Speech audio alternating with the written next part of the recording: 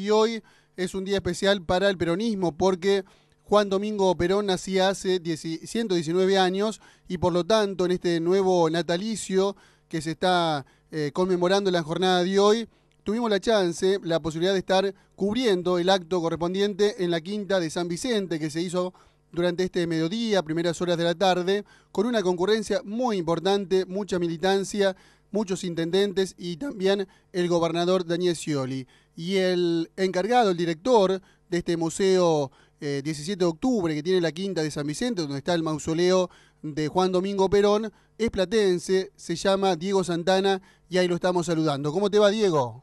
¿Cómo te va, Claudio? Un gusto hablar con vos nuevamente. Bueno, muy bien. Bueno, contanos cómo fue la ceremonia de hoy, eh, cuáles fueron las características más salientes y qué te ha quedado del, del acto llevado a cabo. Bueno, hoy fue un acto muy importante con más de mil compañeros de distintos distritos de la provincia de Buenos Aires, encabezado por el gobernador Daniel Scioli, eh, acompañado por sus ministros, por distintos funcionarios y fundamentalmente por intendentes. Eh, la quinta estaba pleno, con muchos, muchos compañeros y bueno, homenajeando a nuestro gran líder y conductor, el general Perón, ¿no? Te pido una semblanza de, de Perón, teniendo en cuenta el lugar que ocupás, eh, un lugar tan caro a los afectos del peronismo y obviamente de Perón, allí este, descansaba o trabajaba con, con Evita, de acuerdo al punto de vista que uno eh, lo tome. Te pido una reflexión al respecto. Y imagínate que para, para, un, para un peronista, Claudio, tener eh, la posibilidad y casi te diría el orgullo de poder trabajar en, en la casa donde no solamente vivieron, sino trabajaban, militaban, vivían, soñaban juntos Perón y Evita es de, una trascendencia personal en el sentido del militante, ¿no? Del, del, militante del peronismo. Eh, para mí es extraordinario. Pero, pero bueno, este es un lugar que no solamente es extraordinario para, para todos los compañeros, para todos los peronistas, para todos los argentinos que, que quieran recorrer, porque es un lugar abierto al público, es un lugar para disfrutar. Y, Perón y Evita ahí vivían su vida de pareja, digamos, los fines de semana descansaban, eh, dicen algunos, pero yo creo, por lo que algunos compañeros nos, nos cuentan, que no solamente trabajaban, sino discutían, eh, buscaban la forma de mejorar proyectos, eh, debatían con, se reunían con compañeros, comían asados y discutían los, el rumbo que, que a poco le iban impulsando al país, ¿no? Pues, como dato, esto fue a partir del año 1946, es decir, que fue al principio de toda esta gesta, ¿no? En esa quinta histórica, que lamentablemente eh, se hizo también eh, más conocida por el tema de los, de los incidentes del año 2006, uno recuerda cuando llevaban los restos de, Juan Domingo Perón y aquellos este, incidentes con armas de fuego y demás, que no viene al caso. Eh, bueno, uno encuentra en ese lugar eh, todo lo que vos decías, esa paz, esa tranquilidad, creo que son cerca de 20 hectáreas, me vas a corregir o no.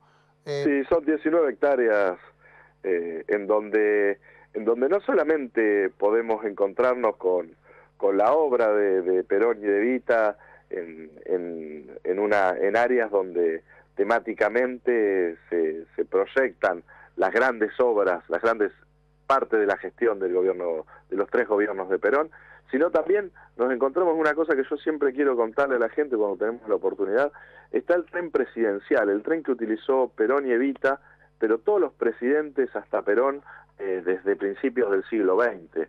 Es un tren extraordinario, una reliquia, es una maravilla de obra eh, hecho en nuestro país, que ya tiene 102 años.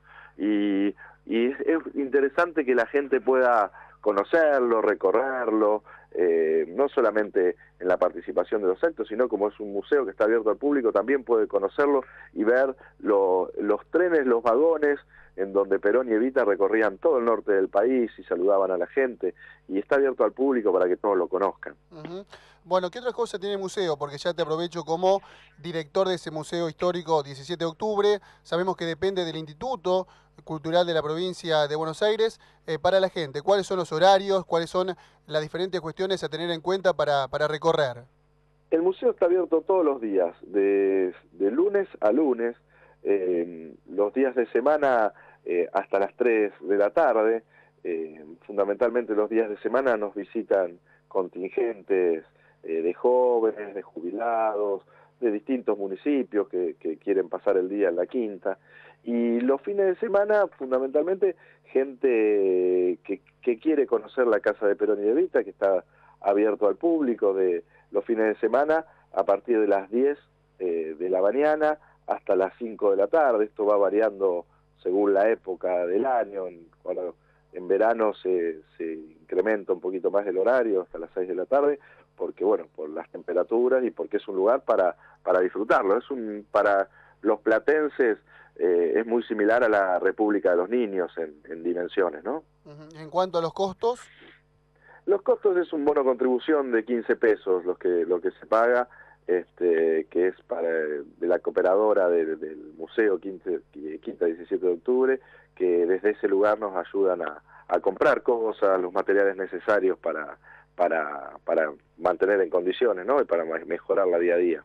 Bueno, como siempre, Diego, muy amable por este tiempo. La excusa era obviamente hablar de, la fecha puntual, estos 119 años del nacimiento de Juan Domingo Perón, pero obviamente interiorizarnos un poquito más de esa quinta eh, que es fabulosa, que uno hoy pudo recorrer, como en otras ocasiones que me ha tocado cubrir algún acto desde allí. Así que te mandamos un gran abrazo y algún día seguramente te vamos a invitar aquí a los estudios para que nos cuente mucho más en extenso todo lo que ocurre allá. Bueno, Claudio, muchas gracias vos sabés que, siempre estoy a disposición para lo que necesites. Un abrazo grande para vos y para, para todos tus compañeros. Ahí estaba Diego Santana, que es el director de este Museo Histórico 17, 17 de octubre, que queda en San Vicente, en la quinta de San Vicente, allí donde permanentemente iba Juan Domingo Perón y ahora descansan sus restos.